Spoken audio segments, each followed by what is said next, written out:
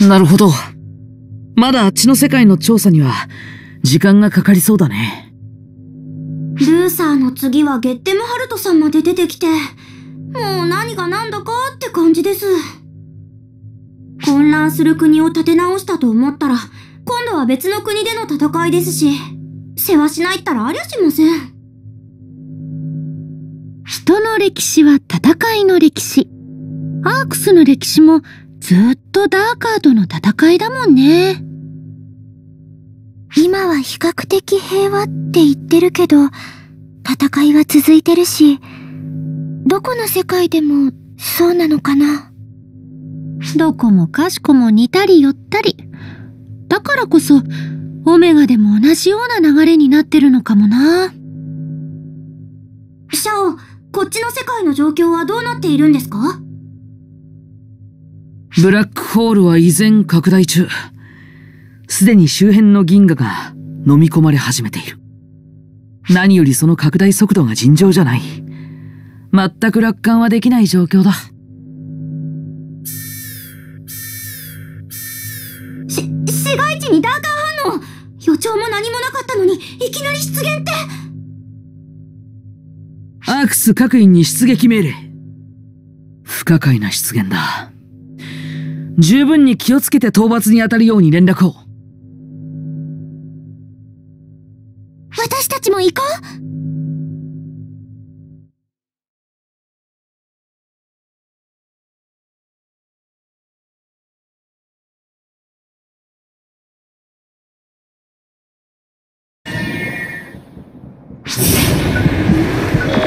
分かってるから分かってるから分かってるから分かってるから。見えてるから。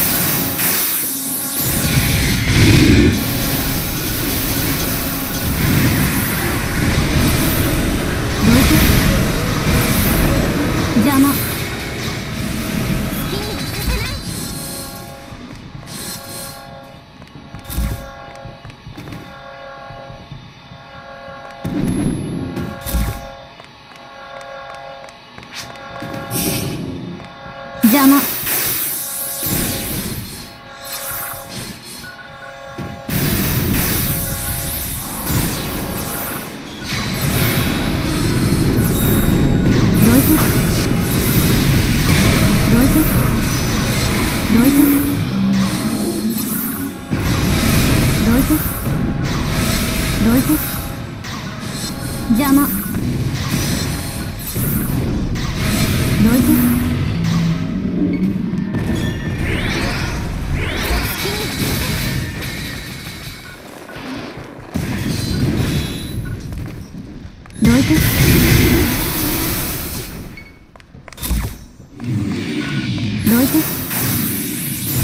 どいて。どいて。どいて。邪魔。どいて。どいて。どいて。どいて。どいて。邪魔。邪魔。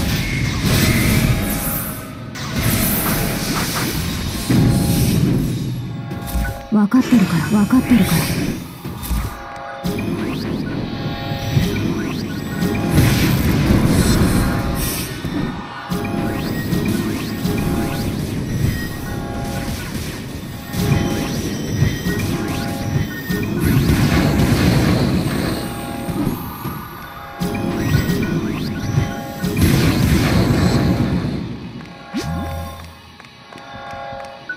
分かってるから分かってるから。邪魔。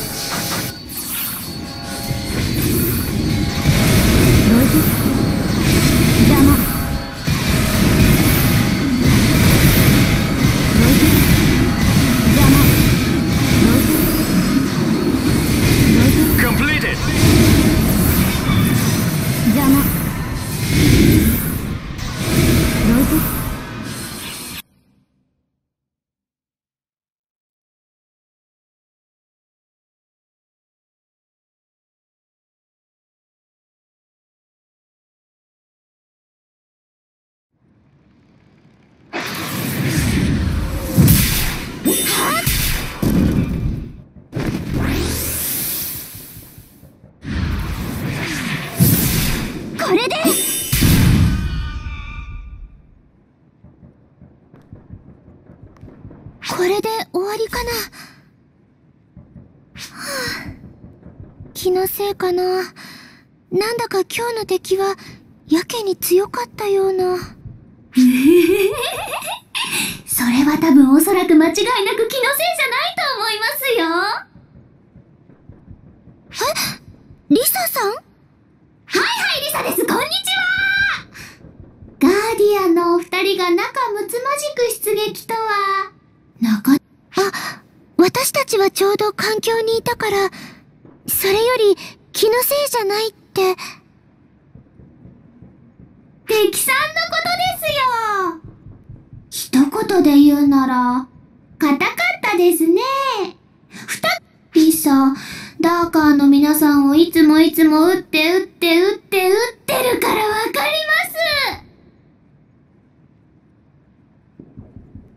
今さっき出てきたあれは違います。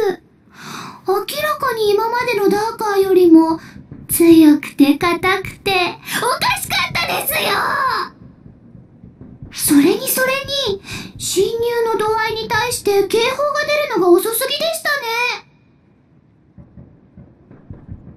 今のこれもしかすると誰も予測できてなかったのではないですか？あの、リサさん何か知ってるの？リサは起きたことしか知りません。敵の強さが異常で、出方も異常。リサにわかるのはそれだけです。ではでは、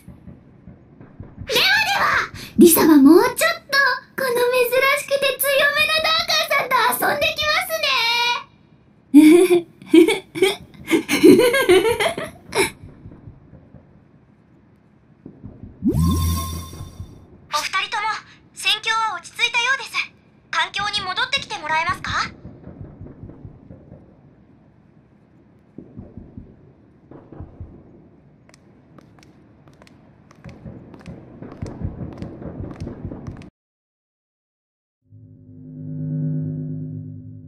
二人ともお帰り。おかげで被害は最小限で済んだよ。でもシャオくん、あそこに出てきたダーカーは、こっちにもデータは集まってるよ。反応から見ても、ダーカーが強化されているのは明らかだ。問題はその原因なのですが。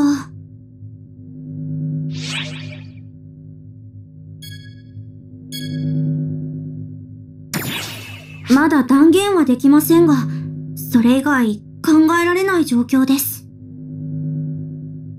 あのブラックホールの増大と、ダーカーの強化に相関性があるという演算結果が出ている。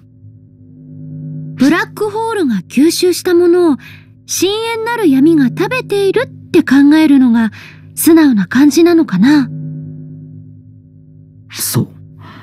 ブラックホール自体に深淵なる闇がくっついていると考えるならありえない話じゃない。深淵なる闇は万物を侵食する。そのブラックホールが吸い込んだものを餌として自身をどんどん強化。その影響が眷属であるダーカーにも出てきている。ってことか。